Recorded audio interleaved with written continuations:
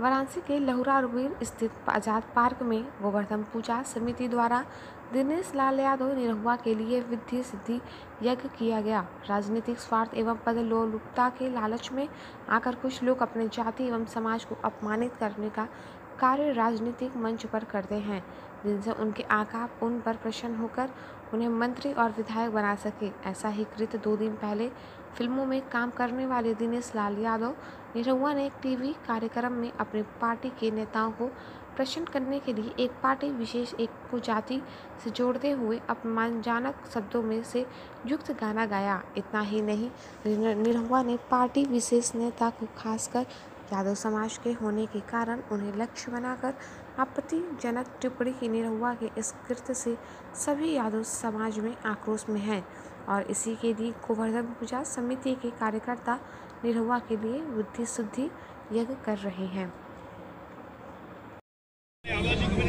जी जी आज किस तरह के यज्ञ यज्ञ आपने किया देखिए राजनीतिक स्वार्थ और पद लोलुपता के लालच में जातियों को बदनाम करने का एक कार्य सार्वजनिक मंच से हो रहा है।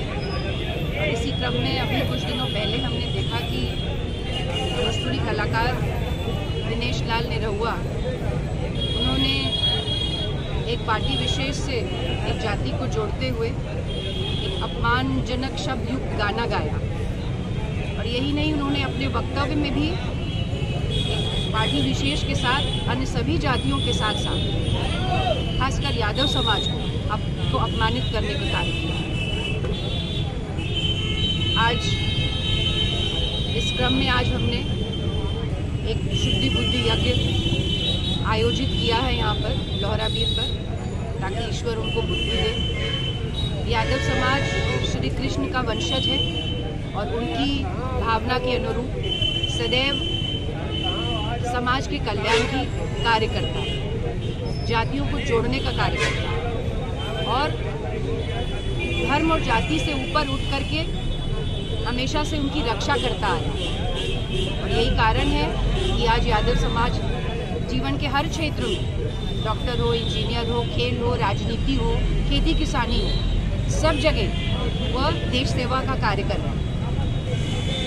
और इसीलिए शायद आज एक केंद्रीय सत्ताधारी दल है जो अपने नेताओं दल के नेताओं के द्वारा इस जाति को विशेषकर अपमानित कराने का कार्य कर रहे हैं। और उसी क्रम में निरहुआ का ये कृत्य आया है, जिन्होंने अक्षम्र कृत्य किया है जो।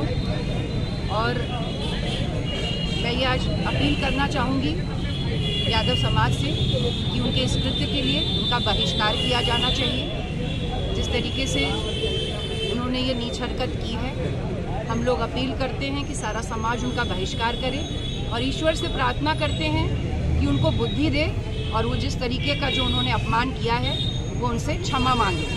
अगर वो ऐसा नहीं करते हैं तो हम लोग विधिक कार्रवाई के लिए भी आगे बढ़ें।